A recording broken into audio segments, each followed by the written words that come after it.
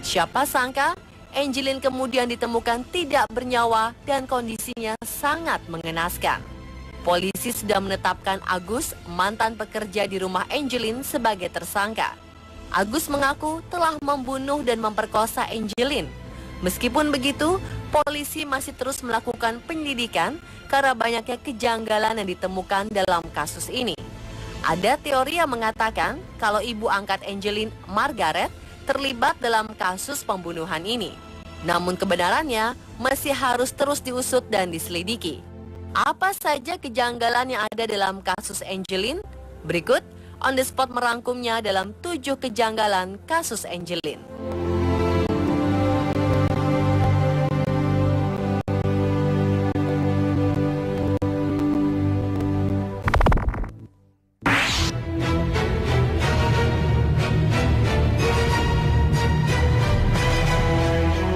Menurut berita yang dimuat oleh CNN Indonesia disebutkan kalau kematian Angelin sesungguhnya sudah diperkirakan oleh Siti Sapura, pendamping hukum Pusat Pelayanan Terpadu Pemberdayaan Perempuan dan Anak Denpasar yang sejak awal memantau kasus hilangnya Angelin. Siti mengatakan, anak selalu menjadi korban dari perlakuan orang tua yang seharusnya melindunginya. Sejak awal ia sudah berpikir negatif, Angelin sengaja dihilangkan ada sesuatu yang direncanakan rapi. Kejanggalan pertama yang mendasari pikiran buruk Siti itu adalah kenapa keluarga angkat Angelin tidak melaporkan hilangnya anak itu ke polisi lebih dulu sebelum menyebar kabar di media sosial dengan hadiah 40 juta rupiah bagi yang menemukan Angelin. Ketua Komisi Perlindungan Anak Indonesia, Aris Sirait juga mencurigai hal yang sama. Ia menyebutkan sungguh aneh Keluarga tidak langsung melapor ke polisi pada hari pertama hilangnya Angelin. Ia mempertanyakan mengapa keluarga justru membuat pengumuman pada laman akun Facebook berjudul Find Angelin Bali's Missing Child.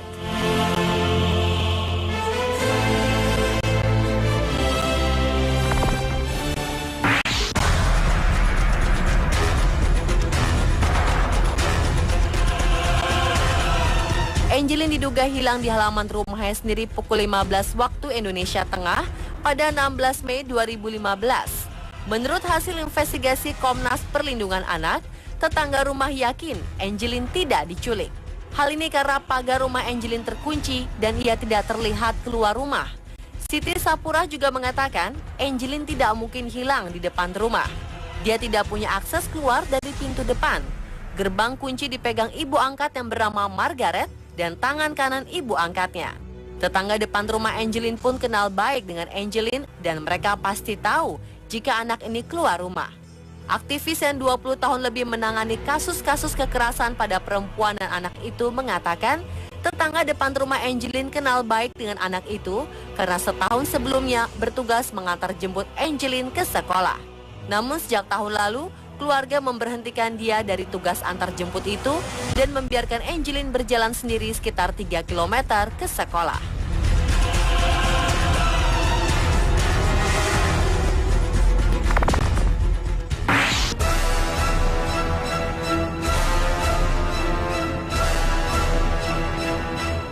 Kejanggalan selanjutnya adalah keluarga selalu menghalangi investigasi polisi di rumah mereka. Aris Rait mengatakan polisi selalu gagal memeriksa kondisi rumah Angelin secara menyeluruh. Polisi hanya memeriksa beberapa ruangan rumah karena dihalang-halangi keluarga. Margaret mengaku terganggu atas pemeriksaan itu. Keluarga juga menghalangi Komnas Anak melihat sebuah kamar rahasia di dekat perkarangan belakang, lokasi penemuan kuburan Angelin. Polisi juga sempat mengeluarkan pernyataan yang sama. Selama masa pencarian Angelin, polisi menganggap keluarga angkatnya tidak kooperatif. Namun kepolisian beralasan membiarkan sikap tidak kooperatif saat polisi melakukan penyelidikan di rumahnya ini lantaran psikologis seorang ibu yang kehilangan anak. Kapolda Bali Irjen Polisi Roni F. Sompi mengatakan, sejak laporan Margaret pada 16 Mei yang mengaku kehilangan anaknya, sebenarnya polisi langsung melakukan penyelidikan, penyisiran di rumah korban Jalan Sedap Malam 26 Denpasar. Hanya saja diakuinya, petugas tidak bisa maksimal melakukan pencarian bukti dan fakta-fakta di rumah korban karena belum bisa masuk ke seluruh areal rumah korban yang cukup luas. Dengan memperhatikan kondisi psikologisnya yang sangat terpukul atas kehilangan Angelin, Margaret meminta agar kesedihannya jangan diganggu. Syukurlah, berkat pendekatan yang baik dan dorongan LSM, akhirnya sikap Margaret melunak dan memberikan kesempatan polisi dalam memaksimalkan pencarian dan pemeriksaan di rumah hingga akhirnya tiga pekan kemudian jasad bocah manis itu ditemukan.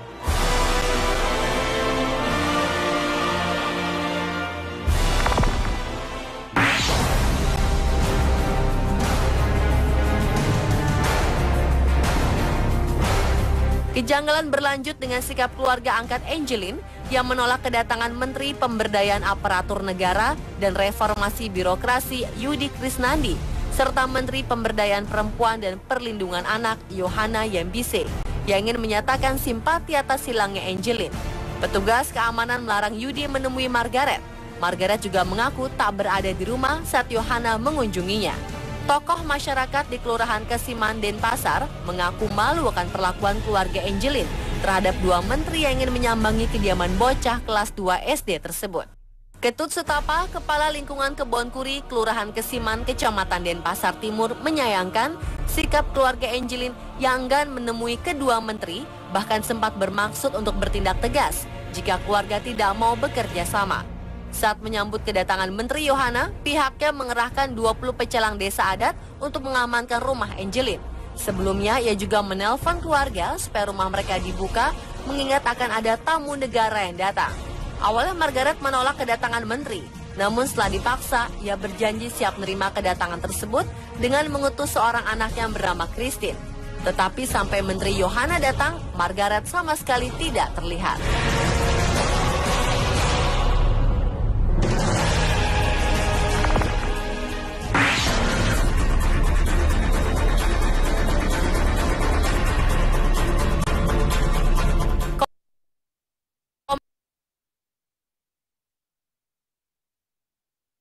Berantakan dan bau kotoran hewan. Selain itu ia curiga karena kasur kamar tidur Margaret yang juga sering dipakai Angelin tidak dibalut spray. Ia mencium bau anyir di kamar itu. Tak hanya pihak KPAI saja menemukan bukti ini, polisi juga menemukan bukti baru terkait perilaku ibu angkatnya yang temperamental, mempekerjakan anaknya sebelum sekolah untuk membersihkan kandang dan memberi makan kandang ayam, sehingga Angelin terlihat tak terurus. Fakta lainnya bahwa Angelin hidup di rumah yang dinyatakan tak layak huni karena bercampur dengan kandang-kandang ayam dan berbau tak sedap.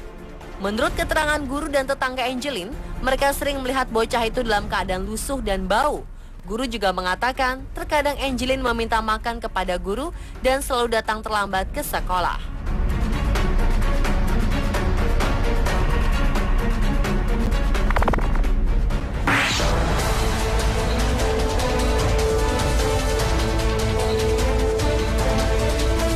Agus, bekas pekerja di rumah Angelin menjadi tersangka tunggal dalam kasus pembunuhan bocah berusia 8 tahun tersebut. Agus jerat pasal 35 Undang-Undang Perlindungan Anak Jungto pasal 80 ayat 3 KUHP. Kapolresta Denpasar, Komisaris Besar Anak Agung Made Sudana, Rabu 10 Juni 2015 lalu menuturkan Angelin tewas dihantam benda tumpul Peristiwa keji itu terjadi pada 16 Mei 2015 malam hari sekitar pukul 20 waktu Indonesia Tengah.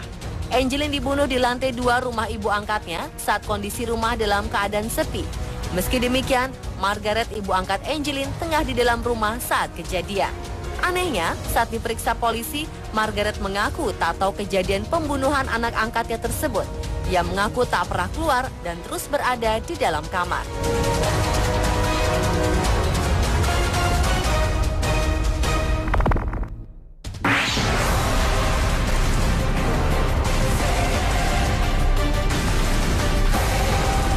Bocah berusia 8 tahun yang hilang sejak 16 Mei 2015 ditemukan dikubur di halaman belakang rumah ibu angkatnya pada Rabu 10 Juni.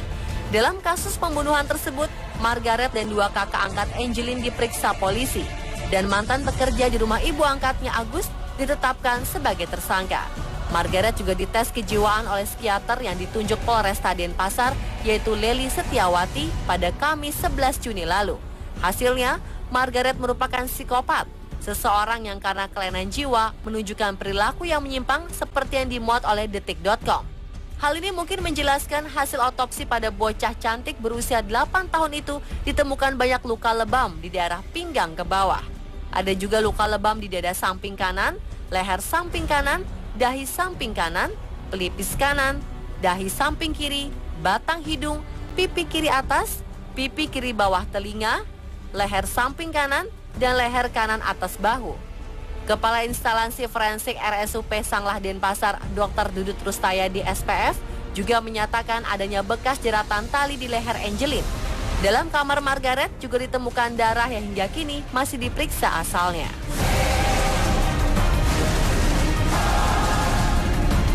Pemirsa telah tujuh kejanggalan kasus Angelin versi on the spot.